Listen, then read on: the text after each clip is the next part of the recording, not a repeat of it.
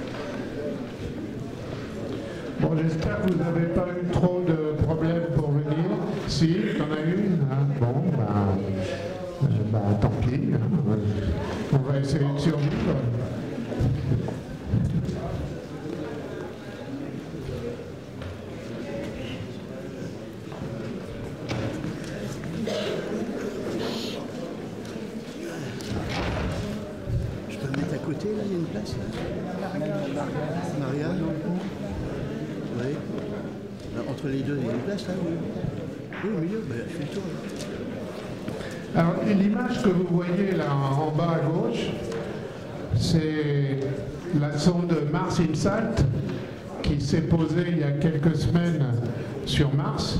J'espère que vous avez été nombreux à assister à cet atterrissage en direct à la Cité des Sciences.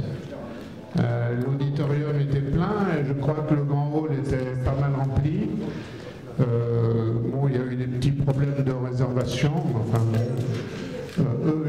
50 et ils ne sont pas arrivés. Moi, je suis tout seul et j'arrive à faire des réservations. C'est juste une remarque. Euh, mais euh, ça s'est très bien passé dans ça. La, la sonde est bien atterrie. Et aux dernières nouvelles, et bien, aux dernières nouvelles, vous voyez euh, en bas à gauche un selfie de la sonde. Vous voyez au premier plan, euh, là, le sismomètre, et en blanc, le capot qui devrait être On, a examiné le sol que vous voyez ici. On a fait un, montage, on a fait un montage de, tout un tas de, de photos du sol, donc on a fait un panorama, parce que vous savez que euh, le sismomètre doit être posé sur un endroit plat, absent de cailloux, enfin dans un endroit idéal, idéalement plat, euh, aucune rugosité, euh, etc. Donc ils sont en train de déterminer l'endroit où on va pouvoir poser euh, le sismomètre et ça devrait être dans la zone délimitée par les arcs de cercle bleu, d'après ce que j'ai compris. C'est quelque chose qui devrait se produire avant la fin de l'année. Donc on, vous tiendra, on vous tiendra au courant.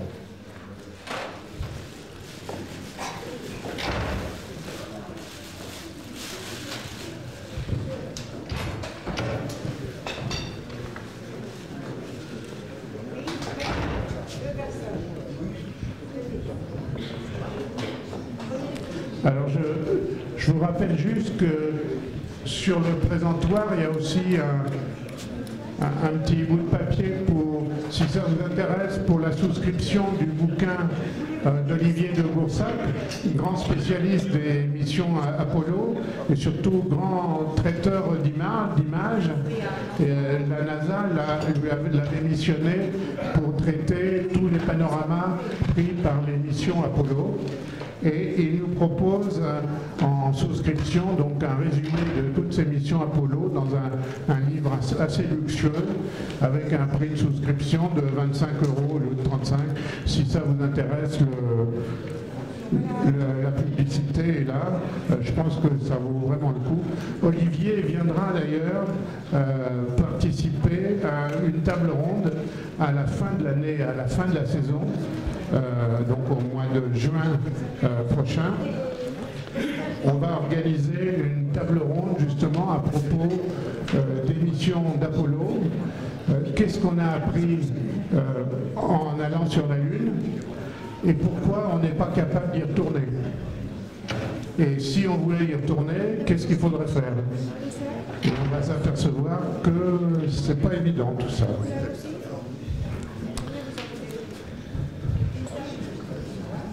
On va encore attendre quelques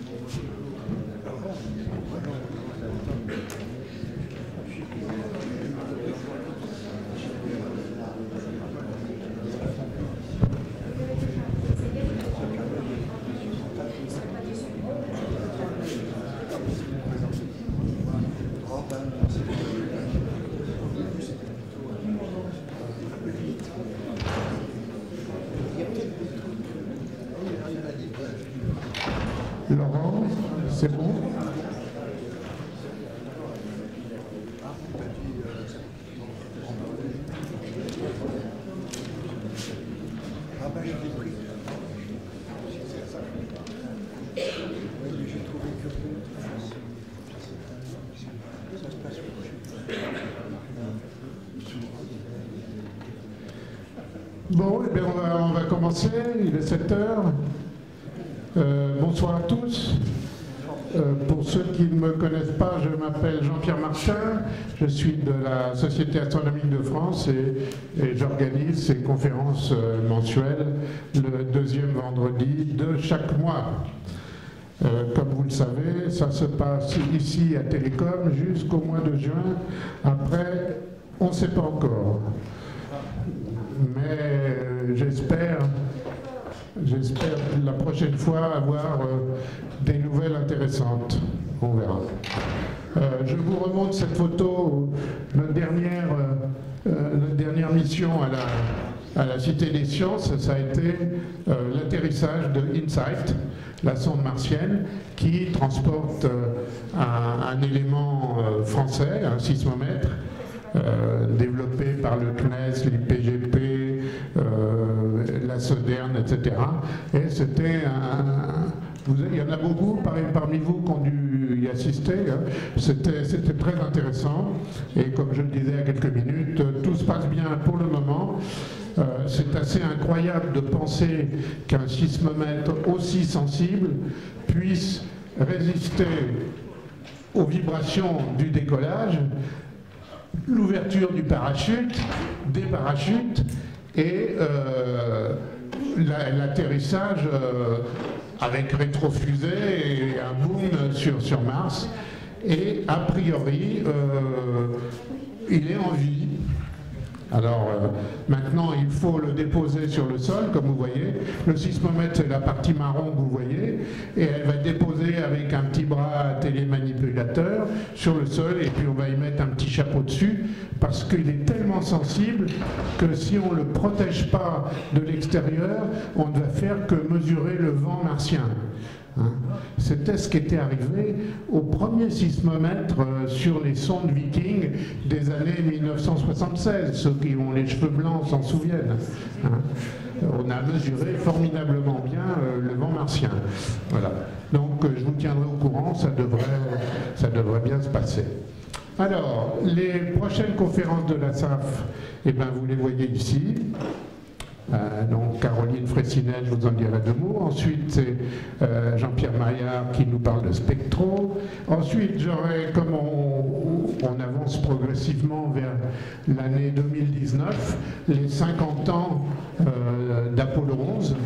Donc j'aurai le plaisir de, vous expliquer un peu les pourquoi et comment de cette conquête. je ne vous montrerai pas Armstrong en train de poser le pied sur la Lune, ça tout le monde le sait, mais surtout pourquoi et comment on y a été et tous les petits secrets qui ne sont pas tellement divulgués au grand public, vous allez voir, on va s'éclater, ça sera très intéressant. Et puis ensuite, c'est notre ami Hervé qui nous parlera de sa spécialité, des origines de l'univers, de la future mission, le CLID. En mai, ça sera, le programme est complet. Hein. En mai, ça sera un, speech sur le James Webb Télescope. Finalement, il va peut-être partir. Bon, dernière nouvelle, c'est 2021. Hein. Ça, mais ça a été repoussé euh, quoi, dix fois peut-être. Oui. D'ailleurs, le prix a été multiplié par 10. Hein. Euh, il est à 10 milliards de dollars maintenant. Quand on aime, on ne compte pas. Hein. Et en juin, ça sera donc la table ronde dont je viens de vous parler. Alors, il y a bien d'autres conférences euh, sur la place parisienne, que vous voyez ici. Je signale que demain, euh, demain, il y a une commission de cosmologie euh, qui, est maintenue parce qu'on n'est pas sur le parcours des Gilets jaunes. Hein. Ah, ah bah oui, rigolez pas. Hein. Mais bon, en principe, euh, donc voilà, donc ça, ça va être intéressant. C'est Patrick Boisset qui va nous parler de spectroscopie. Et il y a une, une conférence intéressante à l'école normale sup sur justement les, plaques tectoniques. Alors, vous allez me dire, c'est pas de l'astronomie. Et je vais vous dire, faux, c'est de l'astronomie. Hein. la Terre est une planète, hein, donc tout ce qui touche notre planète, c'est de l'astronomie. Et je pense que ça sera intéressant. Alors, euh, qu'est-ce qu'il y a d'autre Bon, vous voyez le séminaire de l'astronomie de notre ami Jean Eisenstedt la commission de planétologie de la SAFA, ça, ça va être intéressant. C'est défini maintenant. Euh, on va parler de Titan et des lunes de Saturne. On va faire le point un peu de ce qu'on a appris des missions Cassini. Euh, bon, là c'est. Moi je donne une conférence dans les Yvelines, mais on ne va pas vous faire aller jusque dans les Yvelines, hein, c'est loin pour vous, alors que c'est à côté. Hein. Euh, voilà. La deuxième commission de cosmologie, ça sera au mois de février, sur une théorie assez intéressante qui commence à sortir, où on se passerait peut-être d'énergie noire et de matière noire à l'aide de masses négatives. Ah oui, hein, des masses négatives. Moi, ça m'arrangerait des masses négatives. Moi, je ne vous ai pas demandé de rigoler. Hein. Bon, enfin, bon, on, va voir. Hein. Voilà, donc vous voyez il y a un programme super intéressant, janvier, février. Voilà. Notre dernière conférence de la SAF, alors là, je dois avouer, on a tous été bluffés par cette petite demoiselle qui avait quoi 24 ans 25 ans, qui a eu son bac à l'âge de 12 ans, un truc comme ça, qui est bardé de diplômes et qui nous a expliqué tout ce qui s'est passé euh, après les cinq premières minutes de l'univers. Alors là, chapeau les gars. Euh, bon, sa présentation, euh, je l'ai mise en téléchargement sous mot de passe comme d'habitude euh, sur mon site. Et dans sa présentation, il y a toutes les vidéos qu'elle nous a présentées. Certaines vidéos étaient vraiment passionnantes. Donc bravo à cette jeune fille. Hein, elle est actuellement astrophysicienne. Elle a travaillé avec Stephen Hawking, hein, c'est pas rien et, elle, est en poste à l'University College de, Londres. Bravo à elle, hein, quand même, il y a des jeunes. Donc s'il y a des jeunes dans la salle, vous voyez, il hein, faut, faire comme ça, hein, c'est bien. Donc les cours de la salle, Daniel Brio, son prochain cours, c'est le 10 janvier. Les cours de cosmologie chez Jacques Frick, et là ça démarre en fait en janvier, le 8 janvier. Vous avez tout ça sur le site de la SAP. En plus de ça, pour ceux qui ne sont pas à l'aise en mathématiques de cosmologie, euh, ce que je pourrais comprendre, hein, euh, c'est pas toujours évident, eh bien, on a, un, de nos membres, M. Mihailovic, qui donne des cours de maths appliqués à la cosmologie. Ça marche là Vous m'entendez là-haut? Parce que je n'ai pas bien de retour. Vous reconnaissez la célèbre équation d'Einstein en bas, je ne vous ferai pas l'injure de vous la faire répéter. Voilà. Ça, c'est ce que je vous disais sur le bouquin d'Olivier de Boursac en souscription, vous avez les papiers sur le devant. La prochaine fois, donc, on reçoit Caroline Fressinet du Latmos. Alors, c'est une voisine, hein. moi j'habite aussi les Yvelines, j'habite près de Versailles, et elle est, le Latmos, c'est à Versailles, Saint-Quentin en Yvelines et elle va nous parler d'un sujet hyper intéressant sur l'exobiologie et où et comment chercher la vie dans le système solaire. D'ailleurs, euh, Olivier va sûrement évoquer un peu le, le problème aujourd'hui parce qu'on va voir que les satellites de Jupiter ne sont pas pour rien dans cette histoire. Alors, ce soir, on reçoit Olivier Vitas, qui est planétologue à l'ESA. L'ESA, c'est l'Agence spatiale européenne, et il est au centre technique de l'ESA à, alors je vais essayer de bien le prononcer, Nordvik. Ah là, bravo, Nordvik, vous voyez, je parle hollandais maintenant, à Nordvik, euh, au sud d'Amsterdam, hein, quelque chose comme ça, euh, au bord de la mer, hein, pas très loin du bord de la mer. Et euh, donc, il, travaille sur la mission JUICE, qui est euh, une mission qui envoie cette sonde vers les lunes de Jupiter. Alors à propos des steaks, il y a quelqu'un qui m'a posé euh, une question tout à l'heure. Généralement, tous les ans, j'organise un, voyage, un, voyage pour s'amuser. Euh, on est, enfin, pas vrai, pas pour s'amuser. Un voyage. Euh, j'avais fait deux fois la visite du LHC. je vous ai emmené deux fois en Angleterre aussi, visiter toute l'astronomie britannique. Et eh ben, cette année, eh ben, je, m'arrange pour justement rendre visite à notre ami Olivier. On va aller à l'Estec visiter le centre technique de l'Agence spatiale européenne et en profiter, euh, comme euh, l'Estec c'est pas loin de Leiden, l'observatoire de Leiden, qui est un observatoire historique, et on fera probablement un stop aussi euh, à l'observatoire de Bruxelles. Et pour faire plaisir à tout le monde, on fera un stop comme l'Estec est situé à 100 mètres ou à 1 km de Kökenhof, la célèbre cité des tulipes. On fera un stop là-bas, je vous préviens de ça. Donc c'est un voyage qui devrait s'organiser, si tout se passe bien, 8, euh, 9 et 10 mai euh, de l'année prochaine. Voilà, mais on, fera de la pub, euh, on fera de la pub par l'intermédiaire de la SAF. Donc je vais passer la parole à Olivier Vitas et je vous souhaite par avance un joyeux Noël à tous et bonne soirée.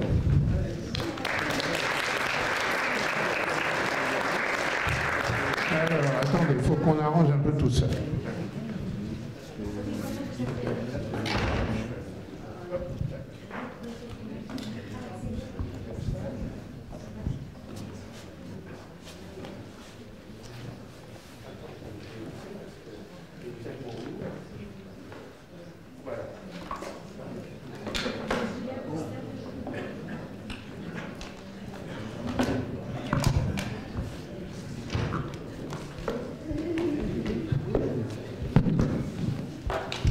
à tous. C'est toujours le moment délicat des conférences. Est-ce que l'ordinateur va marcher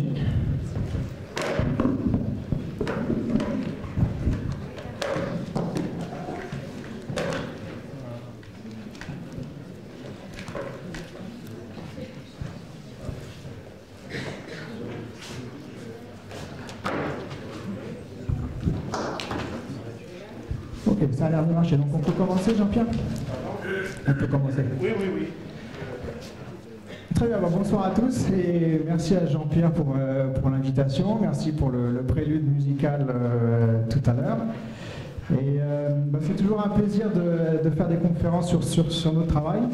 Donc Jean-Pierre a dit que je travaille effectivement dans le centre de l'Agence spatiale européenne aux Pays-Bas qui s'appelle l'ESTEC. Je vais, vous montrer une, photo tout à l'heure. Et mon travail, c'est de, de participer au projet de la mission JUICE.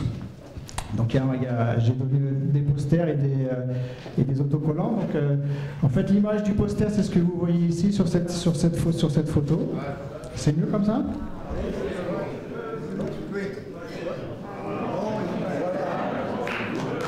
Voilà, j'espère que... euh, toujours le même problème.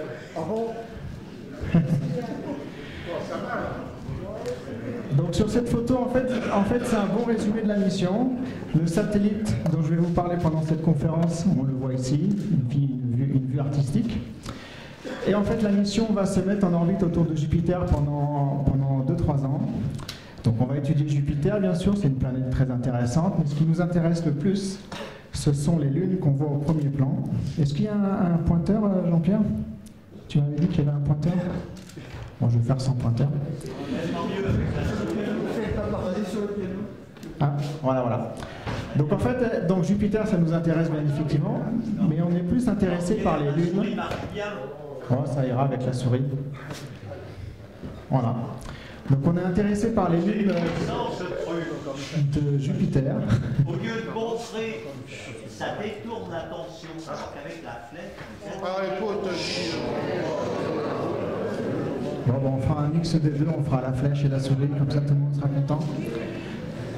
Donc on va, étudier les lunes de Jupiter. La première ici c'est Ganymède, on voit ici Europe, Callisto. Io, je vais en parler un petit peu. S'il y a une chose à retenir de cette conférence, c'est qu'à l'intérieur de ces lunes, il y a plus d'eau que sur Terre. Et donc l'eau, c'est très intéressant. Jean-Pierre a mentionné la recherche de la vie. C'est une grande question euh, de l'humanité. Est-ce qu'on est seul dans l'univers? Euh, Pour l'instant, la réponse, c'est on est, on est seul sur Terre, mais il y a peut-être d'autres endroits où la, la vie pourrait apparaître. Et les lunes de Jupiter font partie d'un de, ces endroits, tout simplement parce qu'il y a plus de liquide à l'intérieur de ces lunes que sur notre propre Terre. Et le but de la mission, c'est d'étudier ce système et notamment confirmer qu'il y a de l'eau et savoir combien il y en a, où elle est, etc. Donc c'est vraiment le résumé de la mission, on le voit vraiment sur cette, sur cette photo ici.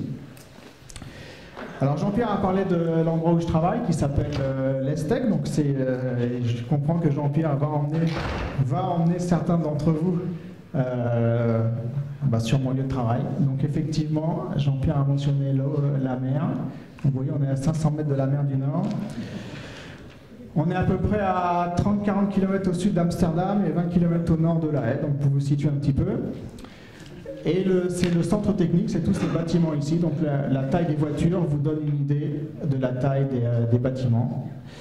Le- le- L'endroit le, plus intéressant, c'est cette partie ici qui renferme le centre de test. C'est-à-dire que quand on envoie des satellites dans l'espace, il faut les tester.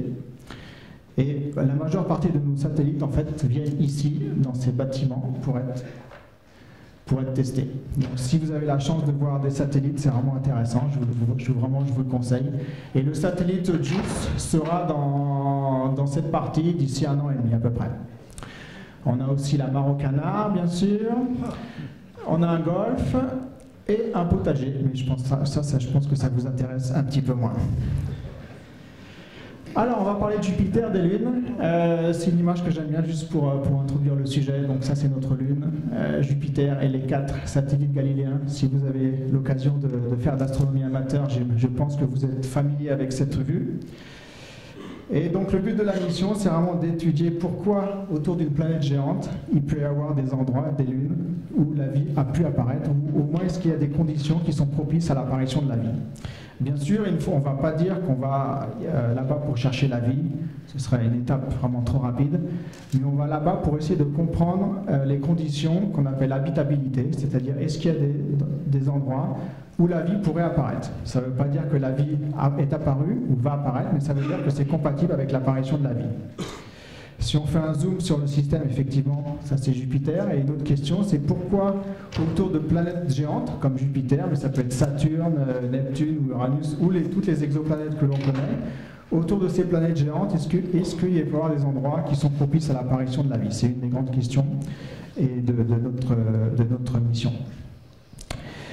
Alors, Jupiter est un, a une suite de satellites qui sont très intéressants. Donc ça, c'est une vue euh, qui, compare un peu les systèmes de satellites sur plusieurs planètes. Donc autour de la Terre, on a simplement notre Lune. Autour de Mars, il y a deux petites lunes qui s'appellent Phobos et Deimos. Vous voyez que Jupiter, il y a quatre gros satellites. Saturne, il y a plein de satellites, mais il n'y en a qu'un qui est gros. Uranus, satellite de moyenne taille. Neptune, Triton, qui est aussi intéressant. Et Pluton, il y a Charon, plus quelques autres petites lunes. Mais on voit tout de suite sur cette vue d'ensemble, où les, euh, tailles euh, sont, vraiment représentatives, que Jupiter est un système très intéressant de quatre grosses lunes qu'on appelle les satellites galiléens. Plus on se rapproche de la planète Jupiter, donc ça c'est en distance par rapport à Jupiter, plus l'attraction gravitationnelle de Jupiter va être importante. Donc ça, c'est un effet très intéressant à étudier et important à considérer. Et aussi, plus on est près de la planète et plus les radiations, comme les ceintures de radiation sur Terre, vont être importantes. Donc si on veut comprendre si ces lunes sont des endroits intéressants pour la vie, la distance à la planète géante est importante, parce que plus on est près, plus c'est compliqué au niveau des radiations, mais par contre, plus il y a d'énergie nécessaire qui peut être utile pour la vie. Donc si on prend l'exemple de Io, très près de Jupiter, en fait c'est une lune volcanique, très active, mais pour la vie c'est pas très intéressant parce que c'est surtout des volcans. Par contre, les trois autres, Europe, Ganymède et Callisto, sont très intéressants parce qu'elles sont à distance respectable de Jupiter, donc au niveau radiation, ça va un petit peu mieux. Et notamment, Europe, on sait qu'il y a de l'eau, ça c'est sûr. Ganymède, on est pratiquement sûr. Et Callisto, peut-être. Donc voilà, donc étudier ces trois lunes, c'est vraiment faire un comparatif des conditions autour de Jupiter en fonction de la distance Qu'est-ce qui est le mieux pour l'apparition de la vie Est-ce qu'il vaut mieux être ici, là ou là? Et c'est les grandes questions qu'on se pose et que notre mission juive va essayer de répondre. Donc si on commence par Europe, Europe c'est peut-être au niveau astrobiologie, astrobiologie pardon, une, des, une des, euh, des, lunes dans le système solaire qui est peut-être la plus importante. Ça c'est une image de la, de la mission d'une mission NASA qui s'appelait Galileo, qui était là-bas dans les années 95-2000. Et quand on regarde la surface, euh, pour les géoglogues, la première chose qui frappe, c'est que c'est une surface lisse, avec très peu de cratères. Alors si vous avez suivi des conférences de planétologie, vous devez savoir ce que ça veut dire s'il y a très peu de cratères. Euh, ça veut dire que la surface est très jeune. Si on prend la Lune, il y a des cratères, c'est une vieille surface. Si on prend Mars, il y a plein de cratères, c'est une vieille surface. Ici, on voyait pratiquement pas de cratères. Pour euh, des temps géologiques au niveau de la formation et l'évolution du système solaire, c'est une planète très jeune. Ça veut dire que cette lune est active. Ça veut dire que pour l'exobiologie, l'habitabilité, c'est vraiment un endroit très intéressant à étudier. La surface très lisse, euh, c'est juste que c'est de la glace en fait. Et les, zones oranges, en fait, c'est des, des, composants dont on ne connaît pas la composition. Ça pourrait être très bien des particules organiques euh, qui remontent euh, de l'intérieur de la Lune, parce qu'on a des très bonnes raisons de penser que sous cette croûte, quelques dizaines de kilomètres sous cette croûte, il y a deux fois plus d'eau liquide que sur notre propre Terre. Donc Europe, c'est une lune très intéressante. Et c'est un zoom euh, qui montre en fait la glace sur Europe. Et en fait, l'étude détaillée de ces patchs de glace aussi a indiqué que sous la glace, il y avait un océan liquide. En fait, c'est grâce à ce genre d'image qu'on a pu commencer à, comprendre qu'il y avait de l'eau liquide. Et ça, c'est une vue d'artiste qui montre en fait l'intérieur de la Lune. Donc, vous avez la surface glacée. Euh, à l'intérieur, il y a des roches. Et pris en sandwich entre les roches et la glace, il y a une couche de liquide. On ne sait pas de combien de kilomètres elle fait, peut-être des dizaines de kilomètres. Et on ne sait pas quelle est la couche de glace qui y a au-dessus de cet océan. Ça peut être quelques kilomètres. Donc voilà pourquoi c'est intéressant, parce que cet océan ici est en contact avec des roches, et c'est un petit peu ce qui se passe avec nos océans à nous. Sauf que nous océans, nous, il n'y a pas quelques dizaines de kilomètres de glace au-dessus. Mais à part ça, les conditions sont similaires. Donc il peut très bien avoir des, euh, des, endroits très intéressants ici pour l'apparition de la vie. Et avec notre mission, on va, étudier un petit peu cette lune, même si les autres lunes sont, euh, sont plus intéressantes pour nous. Des observations récentes euh, du télescope spatial Hubble ont montré qu'il y avait des, de l'eau qui s'échappait de la Lune. Donc là, c'est vraiment quelque chose d'encore plus direct. c'est des images de Hubble ici. Donc on peut très bien y avoir des geysers sur la, à la surface d'Europe qui montent à quelques centaines de kilomètres. Et donc si on réussit à avoir une mission qui s'approche de la Lune, on peut même très bien passer dans ces geysers avec le satellite. Et là, on a un accès direct à l'eau qui est à l'intérieur du satellite. Maintenant, je passe à Ganymède. Donc Ganymède, c'est la plus grosse lune du système solaire. Alors, si on compare à, à Europe, il y a beaucoup plus de cratères. Donc ça veut dire que la surface est plus vieille. Donc ça veut dire qu'au niveau activité géologique, c'est beaucoup moins intéressant qu'Europe. Mais il euh, y, a plein de choses différentes ici au niveau géologique, donc c'est quand même une lune très intéressante à étudier. La plus grosse lune du système solaire est aussi l'endroit où il y a le plus d'eau, on pense, dans le système solaire. Il y a peut-être six fois plus d'eau liquide. Donc vous imaginez les océans terrestres. Il y en a peut-être six fois plus à l'intérieur de cette lune. C'est quand même assez euh, incroyable à, à, réfléchir et on ne sait pas à quelle distance elle est sous la surface. Et comment on calcule ça? Bah, je, vais, je vais y revenir tout à l'heure. En fait, est-ce qu'on euh, peut poser des questions pendant la conférence, j'imagine hein? Donc, n'hésitez pas à poser des questions, mais je vais revenir à euh, où est exactement cet océan et comment on va faire pour le savoir avec, avec notre mission. Euh, ça, si, c'est une coupe, si on, a, si on pouvait voir ce qui se passait à l'intérieur de la Lune, donc on a, donc, vous voyez la distance, donc 5000 km, donc voilà, c'est comme, comme une mini-planète, il hein, faut dire ce qu'il y a il y a là une croûte de glace autour. À l'intérieur aussi un manteau de glace. Et pris en sandwich entre ces, deux, parties de glace, il y a notre océan ici, qui fait peut-être 50 km d'épaisseur, 100 km, 200 km. On n'en a, a aucune idée. À l'intérieur, il y a un manteau, comme sur la Terre, et un, cœur de fer, comme sur la Terre. Et en fait, si, comme il y a un cœur de fer, vous devez imaginer ce qu'il peut y avoir, un champ magnétique, un, un aimant. Et donc Ganymède, c'est un, endroit très intéressant parce que si on considère euh, les, corps rocheux dans le système solaire, il n'y en a que trois qui ont un champ magnétique. Il y a la Terre, on connaît bien sûr, qui nous protège. Euh, le champ magnétique nous protège. Il y a Mercure et il y a Ganymède. Donc ça fait, ça fait trois corps dans le système solaire qui sont assez particuliers au niveau du champ magnétique. Et quand on sait que le champ magnétique est important, parce que ça nous protège des radiations du vent solaire, cette Lune, avec un océan à l'intérieur et un champ magnétique qui nous protège, ça peut être très intéressant dans l'étude de l'exobiologie. Donc pour nous, c'est notre vraiment notre, la, Lune que l'on va étudier avec le plus de précision avec cette mission. Donc ça, c'est une vue pour montrer le champ magnétique. C'est un petit peu compliqué, mais si vous avez la planète ici, et les, euh, les, euh, les, lignes vertes, en fait, euh, montrent les lignes de champ magnétique. Et là où c'est compliqué à Ganymède, c'est qu'il y a trois champs magnétiques qui sont là en même temps. Il y a d'abord le champ magnétique de Jupiter, parce que Ganymède est plongé dans la magnétosphère de Jupiter, et Jupiter a un énorme champ magnétique. Donc si on met un magnétomètre pour mesurer le champ magnétique, on va mesurer le champ magnétique de Jupiter. Mais on va aussi avoir le champ magnétique interne de Ganymède, du fait du cœur de fer. Et comme il y a un océan liquide qui est salé, l'océan conduit l'électricité et va aussi déformer le champ magnétique et va créer un, tout petit champ magnétique dû au liquide. Donc en fait, c'est euh, la configuration magnétique de Ganymède est vraiment extrêmement compliquée. Et notamment à bord de notre mission, on va avoir un magnétomètre pour essayer de comprendre tout ça. Comme il y a, des champs comme il y a un champ magnétique comme sur Terre, on a des aurores boréales sur Ganymède. Ça semble un peu, euh, un peu fou. Donc ça, c'est une vue du satellite. Et ça, ce sont des images du, euh, encore du télescope spatial Hubble donc dans l'ultraviolet, qui a montré des aurores côté nord et côté sud. En fait, c'est comme sur notre Terre. si j'ai le temps, je vais y revenir un petit peu après sur, euh, sur ces aurores de Ganymède. Callisto, la dernière lune euh, qui nous intéresse, donc elle est plus loin que Ganymède. Donc a priori, elle est, elle est moins sujette au champ gravitationnel de Jupiter. Ça veut dire qu'elle est moins perturbée par Jupiter, ça veut dire qu'au niveau évolution géologique, c'est peut-être une lune un peu morte, et d'ailleurs quand on voit le nombre de cratères, Si je continue ce que j'ai dit tout à l'heure, ça veut dire que c'est une surface très vieille. Ça veut dire que c'est peut-être un astre mort au niveau géologique, un petit peu comme, euh, la Lune.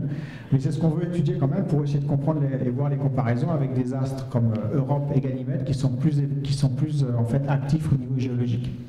Donc ça c'est une coupe de l'intérieur, il n'y a pas de cœur de fer, il n'y a pas de champ magnétique, il y a une croûte glacée ici.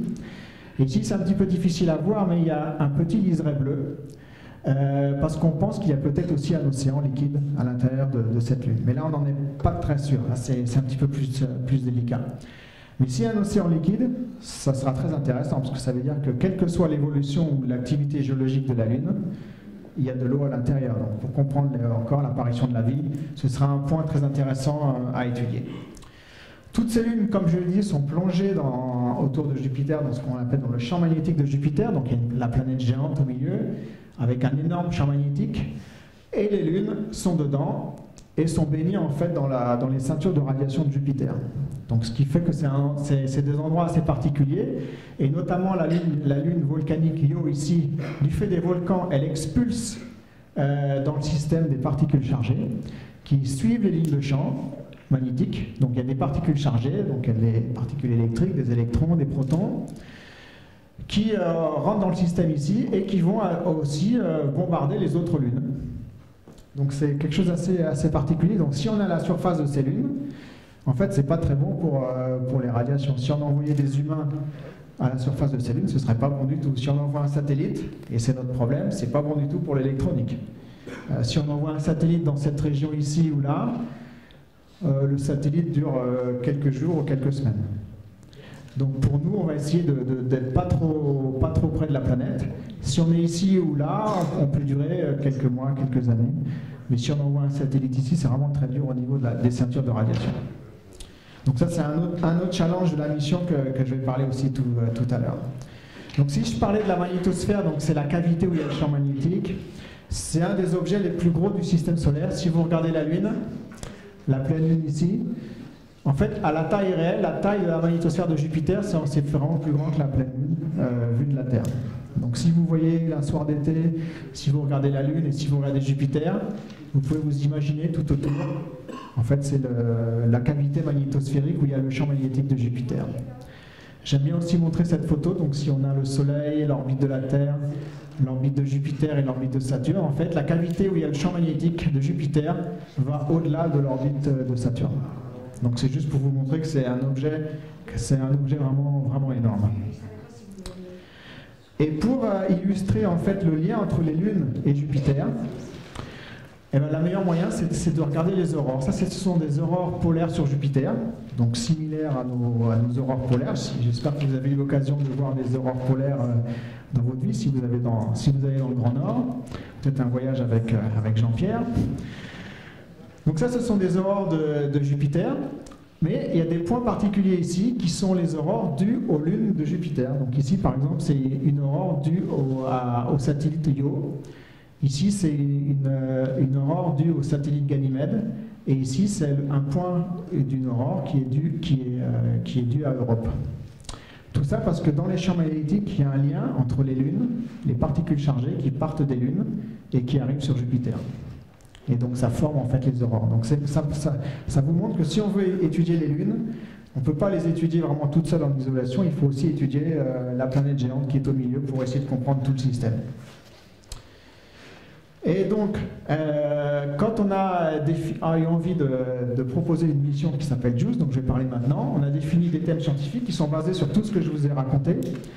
La première chose, c'est on va étudier les lunes glacées qui sont Ganymède, Europe et Callisto pour essayer de savoir plus sur l'eau liquide, j'insiste bien sur l'eau liquide qui est à l'intérieur. Mais on ne peut pas les étudier toutes seules, il faut étudier aussi le système de Jupiter, notamment l'atmosphère, la magnétosphère, mais aussi tous les autres satellites et les anneaux de Jupiter pour essayer de comprendre le système dans sa globalité et répondre à la grande question qui est est-ce qu'autour d'une planète géante, il peut y avoir des zones habitables? Donc ça, c'est comment, pourquoi on a décidé de faire cette mission. Alors, pour vous, donner une idée des missions planétaires, euh, je vais vous donner le calendrier. C'est vraiment quelque chose euh, assez particulier. Ce que l'appel à proposition pour, des missions a été fait en 2007. Donc régulièrement, à l'Agence spatiale européenne, on, On fait un appel, on demande à tous les scientifiques quelle est la mission euh, dont vous rêvez. On a tant de budget, donc euh, des fois c'est 500 millions, des fois c'est 1 milliard, ça dépend. Donnez-nous toutes vos idées et ensuite on, discute et on sélectionne les meilleures idées. Donc un appel, il y a eu un appel à proposition en 2007 où plusieurs missions ont été proposées. Et après des études, des compétitions, euh, beaucoup de meetings, etc., la mission finalement a été sélectionnée cinq ans plus tard. Euh, un peu moins d'un an plus tard, on a, on a, sélectionné les instruments qui vont, faire partie du satellite. En 2015, on a sélectionné l'industrie qui va fabriquer le satellite. Donc dans notre cas, c'est Cocorico, puisque c'est Airbus à Toulouse. Et ensuite, euh, maintenant, on est en phase de développement, c'est-à-dire que l'industrie construit les satellites, les scientifiques construisent les instruments, et on espère euh, de décoller en mai 2022. Donc Jean-Pierre parlait euh, des décollages qui peuvent être repoussés dans le temps, comme James Webb. c'est un risque qu'on a, mais bon, pour l'instant, on est prêt à décoller en mai 2022. Avec une, fusée Ariane 5, et je parlerai plus tard de la fusée. Il faut être encore patient parce que quand on décolle, on ne peut pas arriver tout de suite vers Jupiter. je vais montrer pourquoi. Et donc il faut attendre 7 ans pour se mettre en orbite autour de Jupiter. Et ensuite, ben, on commence la mission. Et la mission, ça va être 3 ans autour de Jupiter. Et ensuite, à la fin de la mission, on va se mettre en orbite autour d'une des lunes de Jupiter qui est Ganymède. Donc c'est vraiment la première fois qu'on se mettra en orbite autour d'une lune de Jupiter. Et au bout d'un moment, il faut bien avoir une fin de mission, donc on, prévoit ça en septembre 2033. Donc vous voyez que le temps fait qu'il faut être patient. Et euh, ce n'est pas toujours les mêmes personnes qui travaillent sur un projet qui dure euh, entre 20 et 30 ans. Et puis ici, il faut passer le, témoin, il faut donner les informations. Donc c'est aussi, ça fait partie, une, partie intégrante des missions planétaires, comme les missions Cassini, comme les missions Rosetta, dont vous avez entendu parler sûrement. Euh, ça dure euh, pas quelques années, mais ça dure euh, quelques dizaines d'années. Donc ça, c'est un point important aussi de, la mission. Alors, le satellite, à quoi il ressemble? Donc ça, si ça marche, mais si ça marche pas, à la limite, c'est pas trop grave. Donc en fait, ça c'est voilà, une vue de notre satellite. Donc je dirais que c'est un satellite assez, assez classique, sauf qu'il fait quand même 5 tonnes. Euh, de là jusqu'à là, il y a à peu près 30 mètres. Bon, il y a une antenne pour communiquer avec la Terre. Ce qui fait un peu l'originalité de, ce, satellite, c'est les panneaux solaires ici. Parce que si vous, avez un appartement dans Paris qui fait à peu près 90-100 mètres carrés, ben, c'est la taille de vos panneaux solaires. Parce qu'on est loin du soleil, et donc il faut des énormes panneaux solaires. Ensuite, on a donc les antennes pour, euh, euh, communiquer avec la Terre. Et je vais montrer un petit peu les instruments, mais on a plein d'instruments ici sur cette face. Là, on a une petite antenne pour communiquer si on ne peut pas toujours pointer l'antenne. Et on a pas mal de bras. Euh, ça, c'est un bras qui fait 10 mètres, où on met des, instruments ici au bout, notamment les magnétomètres. Et ça, c'est une antenne radar. Et il y, a plein de petites antennes un petit peu partout. Et au niveau des instruments, donc je pense qu'on est, assez bien équipé. On a, on a 10 instruments à bord. Donc quand on envoie, une mission qui, comme ça qui est tous les 30 ans, on essaye de mettre le maximum euh, d'instruments, parce que ça n'arrive pas souvent une mission comme ça. Donc sur le, on a pas mal d'instruments, ce qu'on appelle de télédétection, donc des caméras euh, dans, dans, le visible. Je ne vais pas rentrer dans les détails, mais on a aussi des instruments qui couvrent d'autres longueurs d'onde, comme l'infrarouge, l'ultraviolet. On a un laser altimètre qui est très important, je parlerai tout à l'heure. On a des expériences pour mesurer les champs électriques, les champs magnétiques, des particules chargées, comme je parlais des ceintures de radiation, donc il faut, il faut des instruments pour mesurer les électrons et les protons. On a une antenne radar pour pénétrer dans la glace euh, des, des, lunes glacées, donc ça c'est un, radar. Et on a aussi euh, ce qu'on appelle de la radioscience, on, utilise le système de télécommunication pour euh, mesurer très précisément la position du satellite. Donc si vous imaginez d'ailleurs le satellite qui va être en orbite autour de Jupiter, donc très loin de la Terre, on essaiera de connaître sa position à quelques centimètres près. Donc ça c'est très important aussi pour, euh, pour la science. Donc ça c'est une autre vue. Donc maintenant je vais montrer, euh, tout à l'heure on m'a posé la question avant que comment est-ce que est-ce que vous allez décoller en 2022 Est-ce que comment est le programme? Est-ce que vous tenez les délais? Alors en fait, oui, on tient les délais, puis je vais, en fait, je vais vous montrer qu'on a, je vais vous montrer des photos du satellite, donc pour vous montrer qu'il y a vraiment plein de choses qui se passent en ce moment. Donc ça, ce sont les, panneaux solaires. Donc là, il y en a deux, donc ça fait à peu près quelque chose comme euh, 2,50 m sur, sur 3,50 m. Donc on va avoir 10 panneaux comme ça. Donc là, ils sont, euh, ils sont en train d'être fabriqués, et d'ailleurs à Leiden, qui est à côté de, là où je travaille. Donc là, ça, on avance au niveau des panneaux solaires. C'est assez compliqué parce qu'il faut des panneaux solaires qui, qui marchent à basse température, en, orbite autour de Jupiter, mais aussi qui tiennent toutes les radiations, tous les bombardements des, particules chargées. Donc au niveau technologique, c'est quelque chose d'assez euh, d'assez compliqué. Bon, on va dire que ça va, ça va marcher. Ça, c'est des vues dans le centre de test de, l'ESTEC. Donc je vous ai dit qu'on a un centre de test pour tester les satellites avant qu'ils partent dans l'espace. Et on a fabriqué cette année un satellite qui est vraiment qui fait la même taille que, notre satellite JUICE. Et on voit ici des images, donc ça c'est dans un hall d'intégration avec euh, ici des, euh, en fait des couvertures pour le protéger de- des différences de température. Parce qu'il peut, il peut faire très chaud, il peut faire très froid dans l'espace. Donc ça on voit aussi les, euh, les couvertures thermiques. Et en fait on a mis le satellite dans une chambre à vide et on a fait un test de deux semaines cette année pour voir si euh, euh, les- couvertures thermiques qu'on a, décidé de mettre marchaient bien. Donc ça, ça montre qu'il y a des tests qui, ont été faits cette année. Donc là, vous voyez à l'échelle humaine, vous voyez, donc ça fait, oui, la taille du satellite, c'est quelque chose d'assez grand. Et ça, c'est notre soleil artificiel. Donc on illumine le satellite pendant une semaine. On fait le froid autour pour simuler, l'espace et on essaie de voir bah, si, le satellite fonctionne toujours. Donc ça, ça a été fait cette année, ça a marché. Donc ce qu'on avait prévu comme couverture, ça marche bien, donc c'est parfait, on continue le programme. Ça, c'est un autre, euh, un autre satellite euh, dans la production. Quand en fait, quand on fabrique un, quand on envoie un satellite dans l'espace, on ne fabrique pas tout de suite le satellite qui va partir. Euh, on, fait d'abord des, des tests. Et ça, c'est un autre test qu'on appelle satellite ingénieur. Donc effectivement, ça, a une drôle de forme, et ça, ça, part pas dans l'espace, mais c'est vraiment représentatif du futur satellite qui va être construit. Là, par exemple, il y a un, grand trou euh, où on mettra le, réservoir de, fuel. Euh, là, vous voyez tous les câbles du satellite. Ici, on mettra les instruments, l'électronique. Et c'est un satellite à l'échelle 1 aussi, presque. Et là, il est, en train d'être assemblé à Toulouse. Et on fait vraiment beaucoup de tests avec ce modèle euh, qu'on appelle modèle ingénieur. Donc ça, c'est très important. Et ensuite, quand le vrai satellite sera dans l'espace, pour tester des procédures ou s'il y a des choses qui marchent pas bien sur le satellite, on utilisera toujours ce modèle pour tester, en fait, pour, voir ce qui ne va pas. Pour après euh, tester ce qui se passe avec le satellite qui est en l'air. Donc ça, c'est euh, c'est aussi très important et c'est ce, qui est fait vraiment en ce moment. À l'heure où je vous parle, il y a des gens qui travaillent sur ce, modèle et ils mettent tous les câbles. Vous voyez, tous les câbles, c'est assez compliqué. Euh, font tous les branchements et vérifient que tout marche bien. Euh, je vous ai montré un- tout à l'heure un bras qui faisait 10 mètres de long là, sur le satellite. En fait, un des bras, c'est, on le voit ici. Alors là, il ne fait pas 10 mètres, mais il fait, il fait un peu plus de 3 mètres.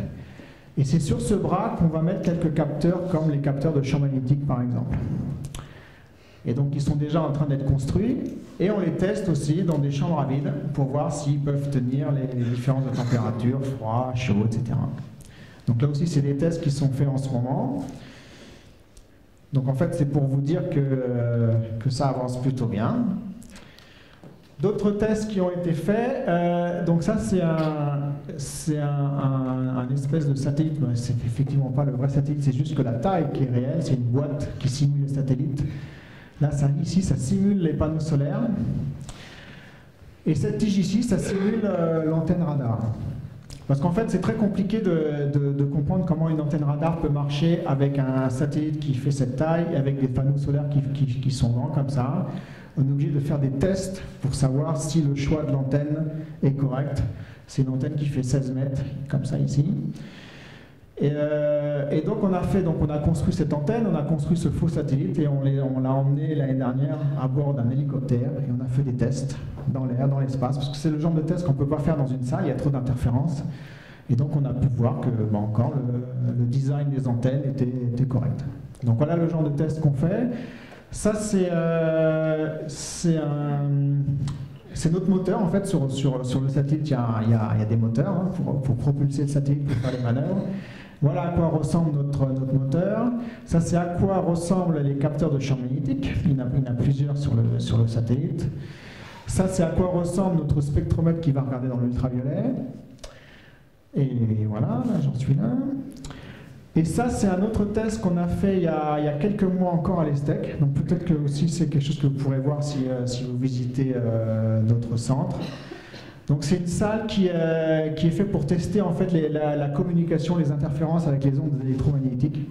Donc c'est pour ça qu'il y a ce genre de, de dispositif qui absorbe en fait les ondes électromagnétiques. Et on a mis notre petit satellite ici, donc c'est encore un, test, c'est encore un modèle de test. Donc on, le reconnaît avec les panneaux solaires ici, ça c'est le satellite. Et en fait on voulait, on, a aussi testé l'antenne radar ici. Donc vous voyez qu'avant de lancer un satellite dans l'espace, il y a quand même énormément de tests avec plein de modèles. Donc quand on voit qu'il faut 7 ans de développement avant de lancer un satellite dans l'espace, c'est pas pour rien. Parce qu'il y a vraiment euh, plein de choses à tester, à construire, voir si tout marche bien. Et euh, voilà, donc ça c'est pour vous, un peu vous donner une idée de, notre travail. Alors maintenant, on va voir si ça marche. Donc voilà, ça c'était pour la partie satellite. Maintenant je vais parler de la mission en elle-même. Euh, donc on va parler quand est-ce qu'on part, où on va, comment ça se passe au niveau du satellite. Alors voyons ça.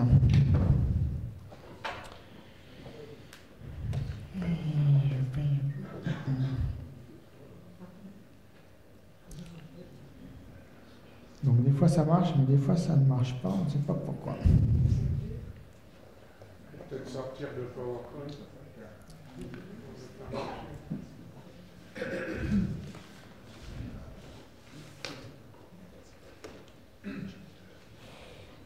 Voyons ça, voyons ça. Ouais. Peut-être sortir.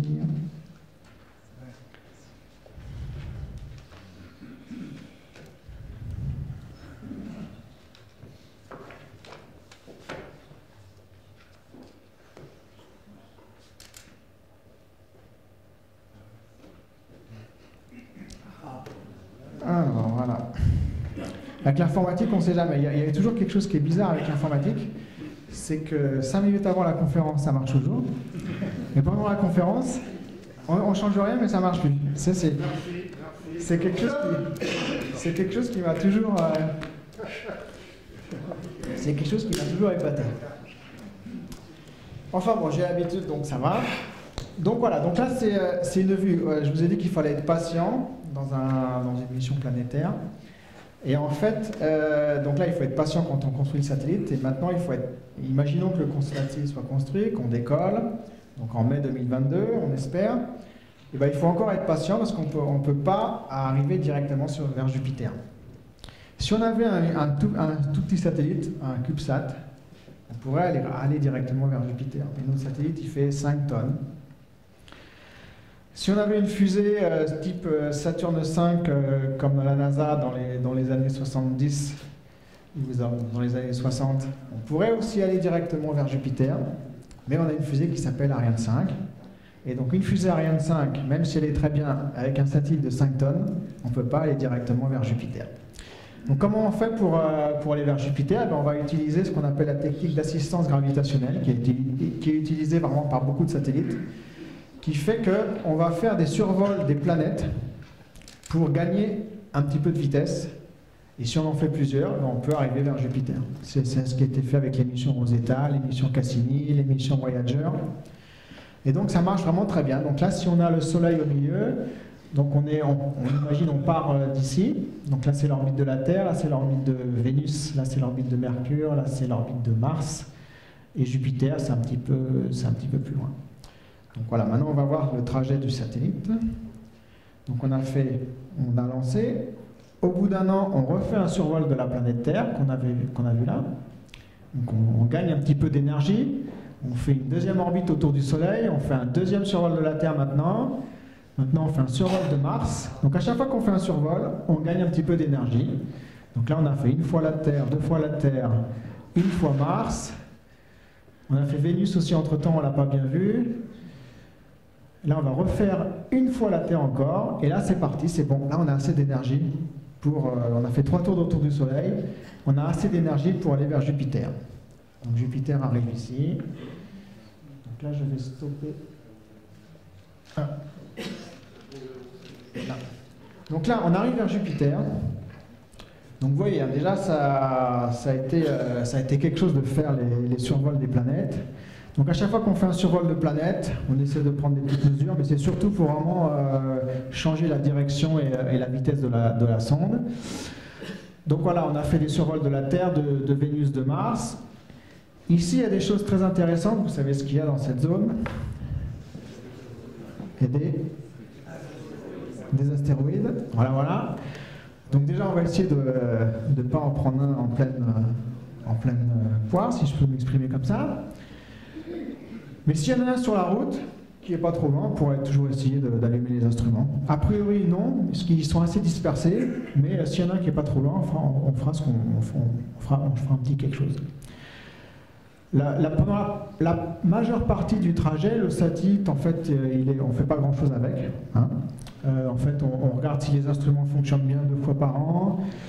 Euh, mais sinon, la plupart du temps, on juste vérifie qu'il est sur la bonne trajectoire. Donc, on ne fait pas grand-chose au niveau du satellite. Par contre, six mois avant d'arriver avant, autour de Jupiter, on commence vraiment la mission scientifique. Parce que six mois avant, on allume tous les instruments et on va regarder Jupiter. Vraiment, on va commencer à faire de la science. Et ensuite, on est autour de Jupiter. Mais c'est juste pour vous dire qu'on n'attend pas d'être à Jupiter pour commencer à faire des, des observations. Donc là, on arrive à Jupiter. Voilà. Donc on se met en orbite. Donc ici, on est en octobre 2000, euh, 2029. Voilà. 2029. Donc 7 ans et demi de, de voyage. Donc maintenant, j'essaie de retrouver. Oula, je suis perdu maintenant.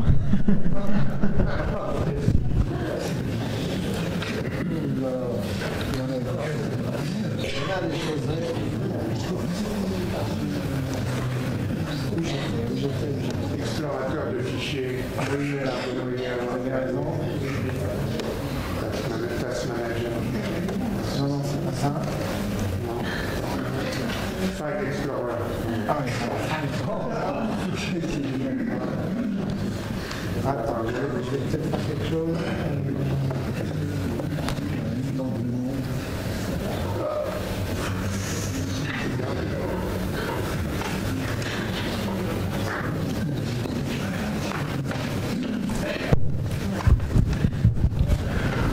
Ça c'est euh, c'est un survol de la. Donc là ça va pas marcher, mais c'est pas grave, c'est pas très important. C'est un survol de la Terre.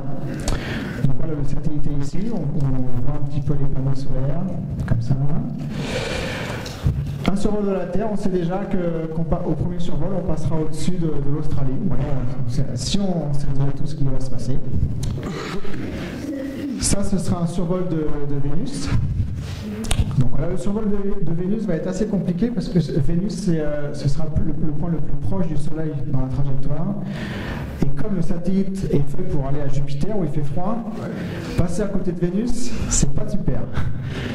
Donc ça veut dire qu'on va faire très attention, on va protéger le satellite avec notamment l'antenne ici, pour le protéger des rayons du Soleil et euh, des rayons de Vénus. Donc le, le survol de Vénus va être assez compliqué, mais bon, on va, on va y arriver. Ensuite, on aura un survol de Mars. Et Mars, ce sera très intéressant parce qu'on n'a pas de problème thermique. Et on va passer à 1000 km de Mars. Donc c'est assez proche au niveau, euh, de- des distances dans le système solaire. Donc là, normalement, on devrait faire vraiment de la science euh, intéressante, euh, je dirais, autour de Mars. Donc voilà, donc ça, euh, celui-là, je ne vais pas le montrer, c'est dommage qu'il ne marche pas.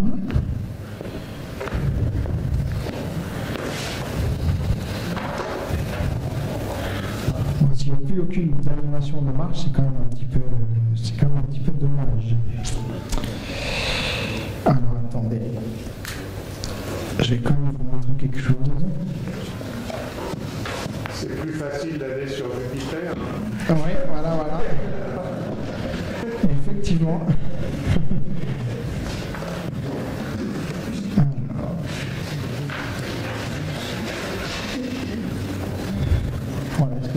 Je laisse sur la clé, c'est mieux.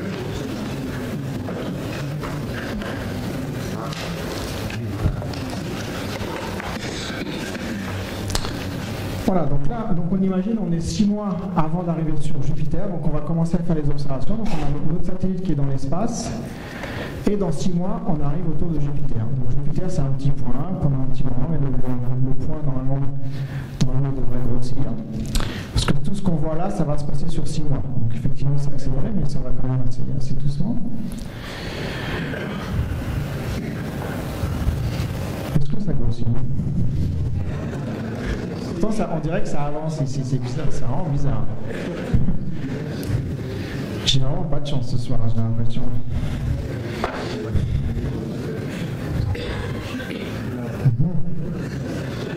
Bon bah écoutez, les, fichiers je les donnerai à Jean-Pierre et puis euh, on les mettra sur, le, sur internet. Ça sera dans le compte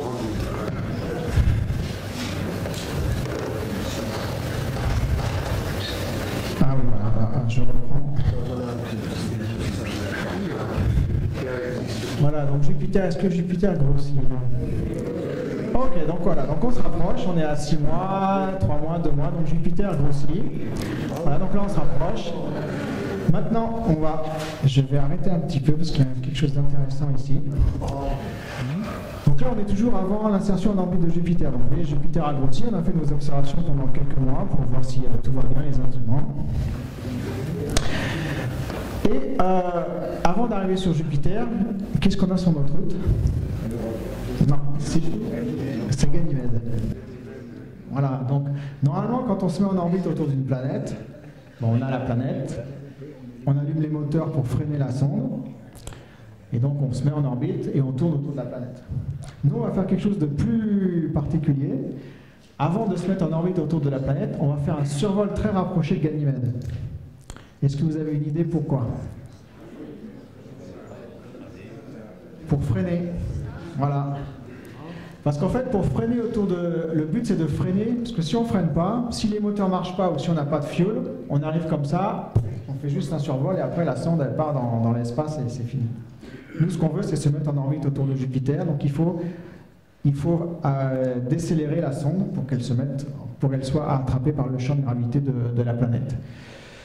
Mais vous, avez, vous savez que l'assistance gravitationnelle, ça peut soit accélérer, mais si on, si on passe d'un côté d'une lune ou d'une planète, mais si on passe de l'autre côté, ça décélère.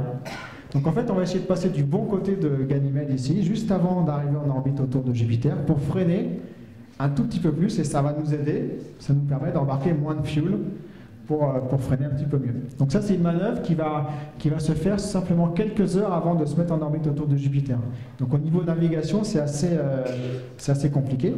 Moi, ça pas toujours. Donc là, on fait un survol de Ganymède.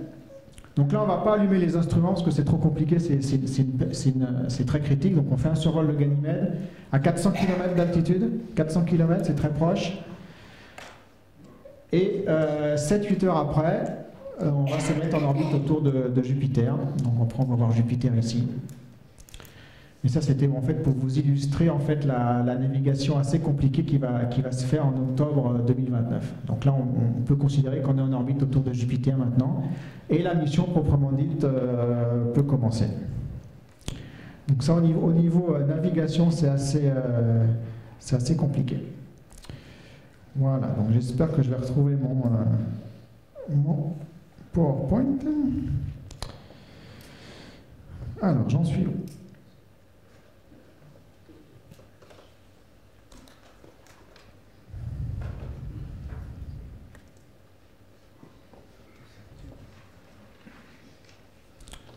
Alors, voilà, voilà. Donc, vous imaginez maintenant qu'on est en orbite autour de Jupiter.